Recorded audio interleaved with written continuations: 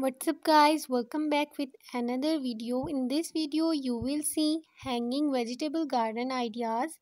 Hanging vegetable garden is an excellent way to grow vegetables and herbs in an attractive manner.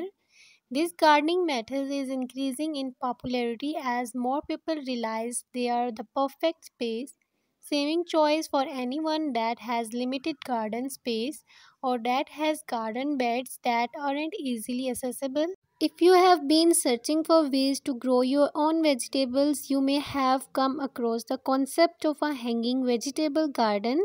In this video, I will show exactly how to create your own hanging garden. So if you have a small house or a little garden, you can build some hanging vegetable garden in the balcony or in the backyard. The little spaces may be good spot for a hanging garden.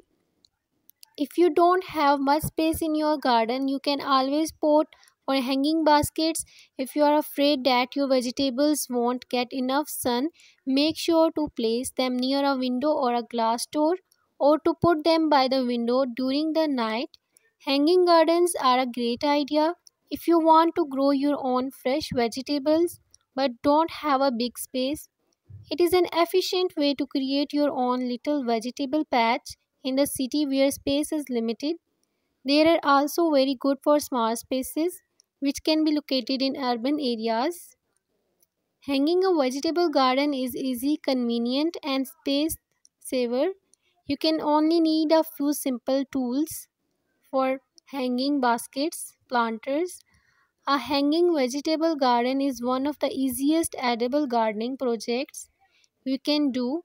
In most cases, you know have to do is visit a good nursery and pick up some plants and seeds and you will be on your way to growing a vegetarian or organic garden in no time.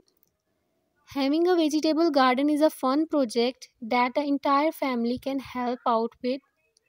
There is a great project for families or groups of people to work on together. You don't need to buy anything. You can just get a pot and some old scraps of wood and make one yourself.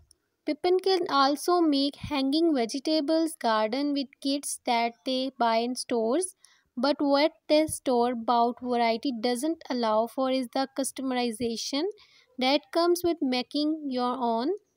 If you want to grow particular vegetables, it's curricular that you choose the right hanging pot. You have to find a pot that's big enough so that you can plant your vegetables safely.